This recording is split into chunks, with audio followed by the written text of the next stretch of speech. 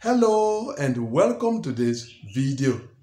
In a video that I made some time ago, I said to you that in the diversity visa program, all is not about data, all does not depend on data analysis. And I went further to explain that there may be other factors that come into play and at the end of the day, what you expected the outcome of your data analysis to be, it may turn out to be different. Now, quite recently, I was going through the statistics on the official website of the Bureau of Consular Affairs of the United States State Department, and I came across something that goes in that line. And so I decided to share that with you, and that is what I'm going to do in today's video. So now let's go over to the official website of the Bureau of Consular Affairs of the State Department and consider what I'm talking about. These are diversity visa program statistics on the official website of the Bureau of Consular Affairs and this concerns the number of entries submitted to the diversity visa lottery during fiscal year 2019 to fiscal year 2021 and it concerns these three fiscal years because they are the final fiscal years for which a breakdown of the data is currently available. Going through these statistics, you will realize that for fiscal year 2019, the Africa region submitted close to 8 million entries to the diversity visa lottery.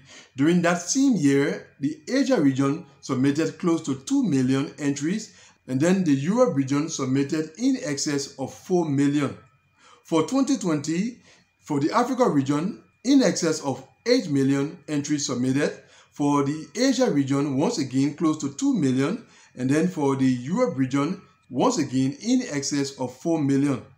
And then finally, for fiscal year 2021, the Africa region submitted in excess of 3 million entries, the Asia region in excess of 1 million entries, and then the Europe region in excess of 2 million entries.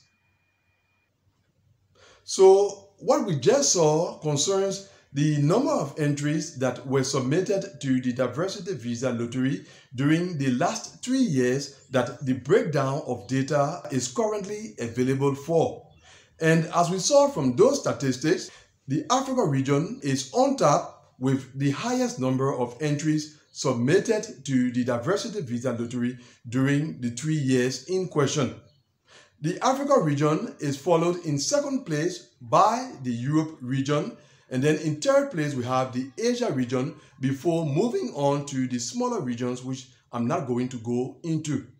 So in other words, when it comes to the number of entries or qualified entries that are submitted to the diversity visa program or the diversity visa lottery every year, you have the highest number coming from the Africa region.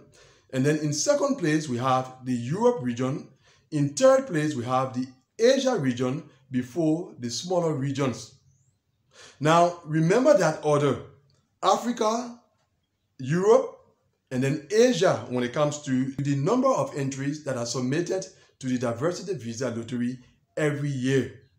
Now, let's consider a second item.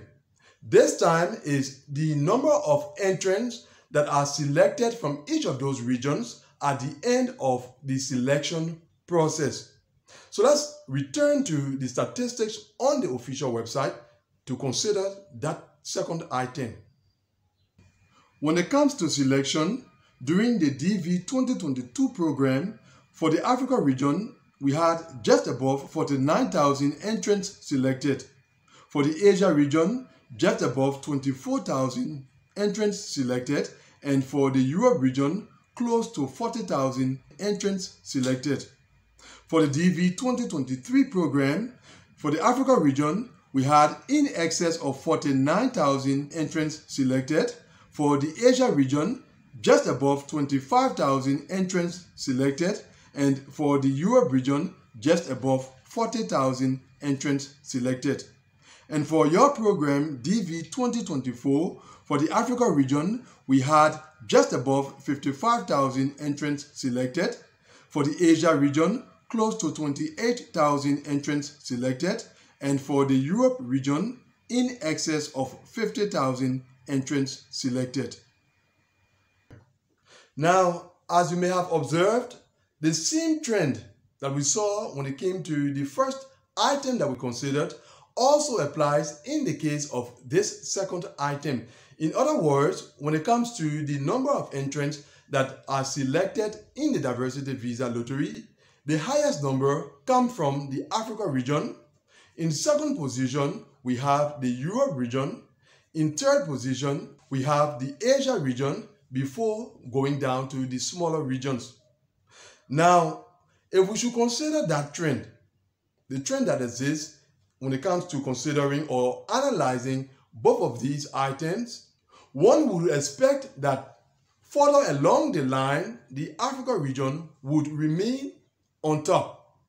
In other words, one would reason that because the Africa region submits the highest number of entries to the diversity visa lottery and the highest number of entrants that are selected during the selection process also comes from the Africa region. So the highest number of visas issued would go to the Africa region.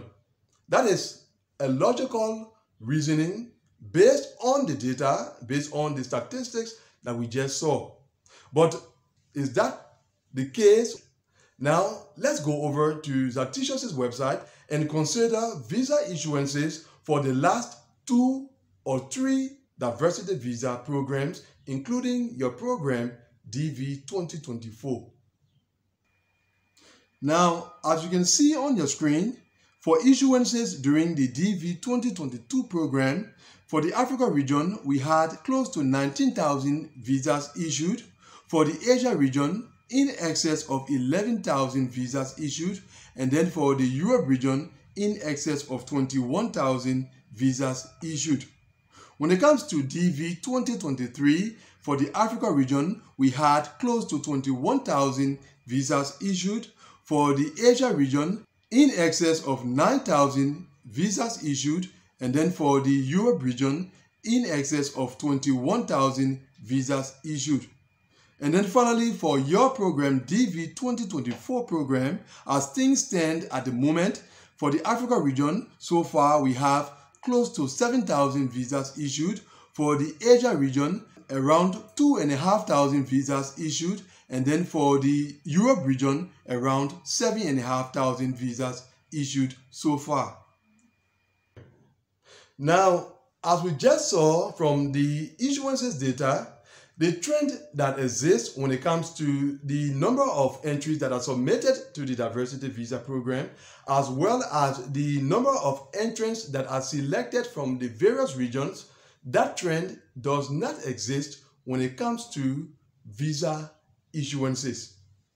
Logically speaking, because the Africa region is on top when it comes to the number of entries that are submitted to the diversity visa lottery, and the Africa region remains on top when it comes to the number of entrants that are selected at the end of the selection process, we would have thought that the highest number of visas issued will go to the Africa region.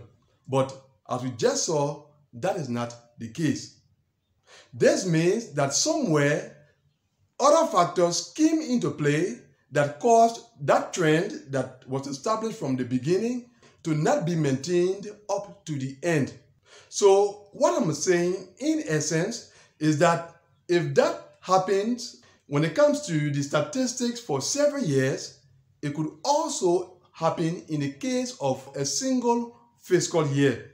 The outcome that could be predicted based on a certain trend from the data may not play out at the end of the day because of other factors that may come into play. And that frequently happens in the diversity visa program. So as I said at the beginning, this is something that I saw in the statistics and I decided to share with you because it goes in line with the fact that in the diversity visa program, all is not about data, all does not depend on data. That is what I had to share with you in today's video. Thanks for watching it. See you, God willing, in the next video. Goodbye.